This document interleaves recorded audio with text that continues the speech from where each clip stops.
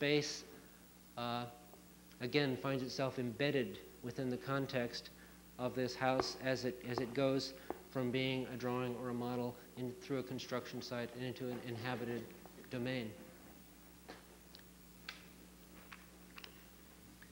Uh, sometimes one's sketch medium is not a piece of yellow flimsy, it's not a cardboard model, but it's your own house. Uh, and uh, if, if your house needs a little work anyway, and mine certainly continues to, uh, uh why not then uh, explore in a modest way a set of architectural ideas that, that you might somehow uh, someday find a use for? And so this house, which I've stumbled through trying to get built for the last five or six years, uh, has a, a, framescape sort of uh, recovered from an old uh, sort of uh, contractor's logger's cabin, uh, uh, a logscape, which was in fact had to be brought to the site because there weren't logs like that on the site, too bad, and an alternation between window, column, and and, and, and un unglazed opening that came out of the fact, say, that I had a pair of windows in the existing house and I moved those windows to another location and left the holes that the original windows were in. So then I had windows that were the same size as the other holes and so forth. And so there's a transposition of logic that took place, all part of a process of, of trying to aim towards something. Uh, again, a picture of my crummy front porch with a dent in the fascia where the neighbor's tree fell on it and uh, the entrance to the, uh, to the Nilsson House's uh, children's house, the, the, yellow, dump truck yellow children's house, um, somewhere along that corridor. Or uh, a more flattering comparison, uh, with the right light, you can even make a cardboard model look good, and even my house. Um, the Nilsson uh, colonnade and my meager colonnade. uh, not quite as grand. Do in a pinch. Uh, there's outside, Schindler-esque, uh, uh, but also a gesture toward uh, a frame architecture that inhabits the sky, et cetera, et cetera. Remember the, the building that was going to start in the sky rather than on the ground, the building that was going to make itself an availability for flexible activities, for reprogramming itself, for being available for just about anything, um, or a building uh, which would make a, a, an upper space uh, through which you could throw footballs and uh, imagine an angel's choir, but you couldn't use. Um, could, could we build an architecture really that was like a spaceship flying overhead that had no connection to the ground? Could we build an architecture, uh, or, or is it only a theoretical possibility? You know, do we, do we want an architecture like that? If we want it, then we have to look for a way to get it. That's the end of, uh, of a part one. And uh, uh, that is, uh, there's another uh, pair of, of trays, and uh, mostly drawings and, and all the necessary documentation of, of this infamous Nilsson House revisited. If, if you had enough Nilsson House, then you might want to try a movie. If you want some more Nilsson House, the next tray of slides provide that.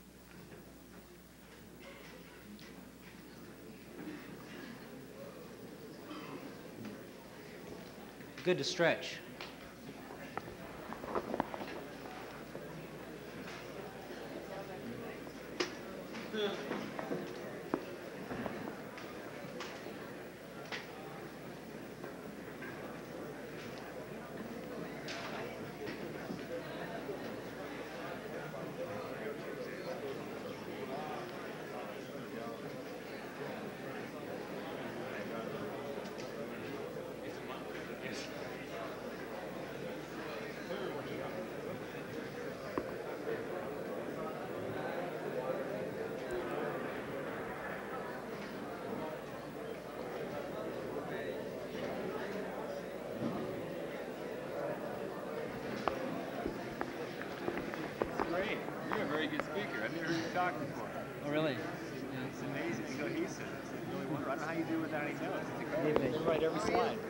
Thank you for coming.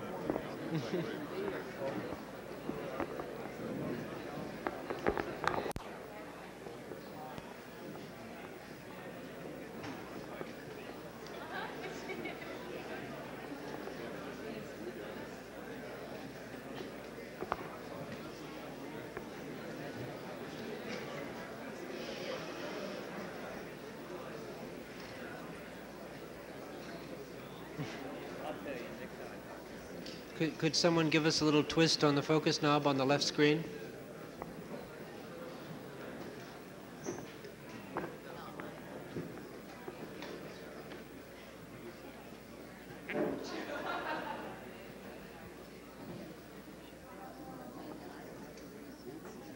Coy, would you go focus the left slide? Thank you.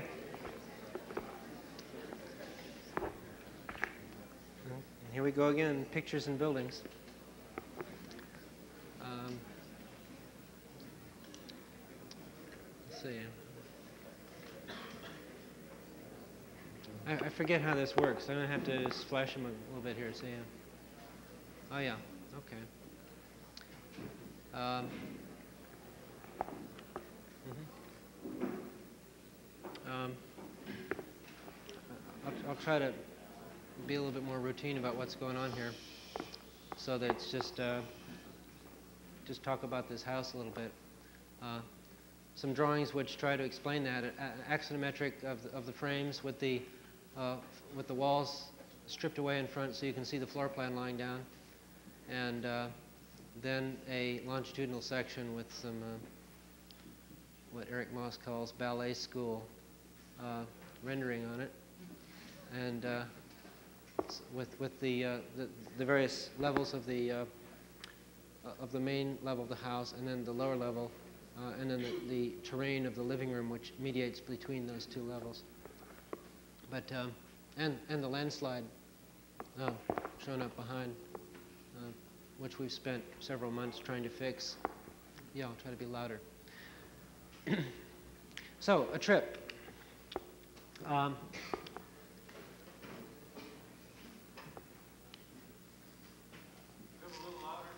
I'm not saying anything.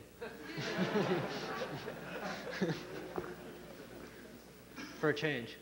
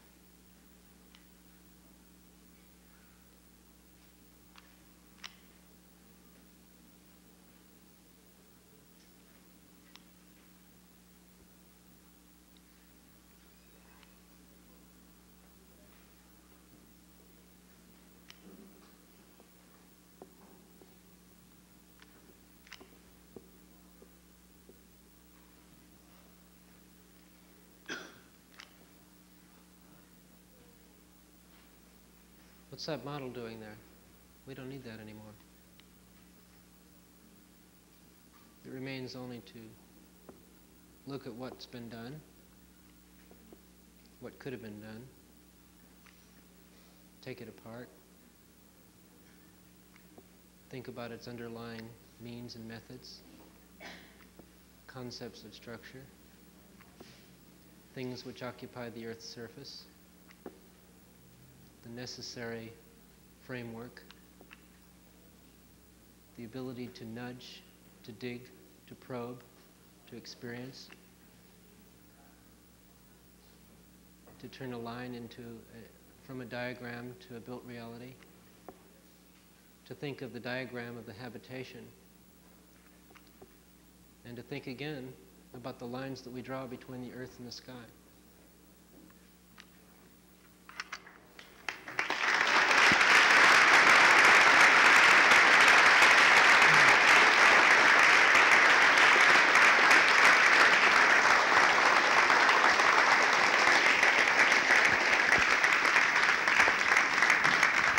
Thank you very much.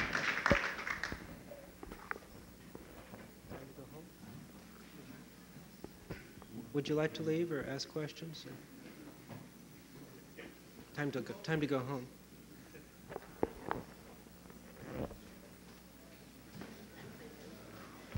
Thanks, Jane.